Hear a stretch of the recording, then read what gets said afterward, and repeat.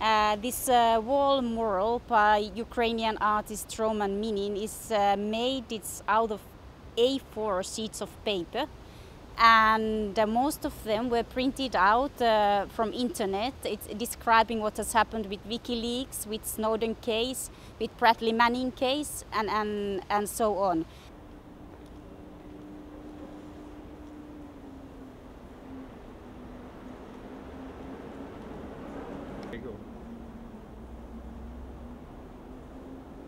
There's a bear licking Snowden.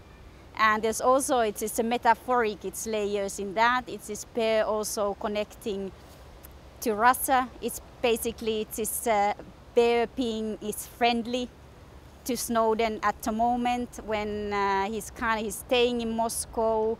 He's uh, applying for an asylum there. He left this his home base.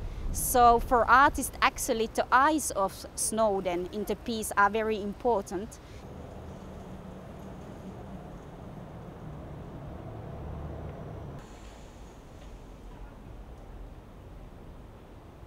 It's not an unusual piece by Roman Minin. It's, uh, he works both on the streets, but he also works, uh, he's also a painter, so he, he works it's, it's on many different levels.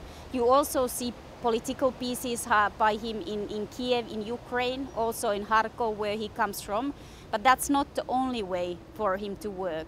And now when he came here, he wanted to realize an up-to-date piece which has meaning both locally and internationally, what people can actually react to.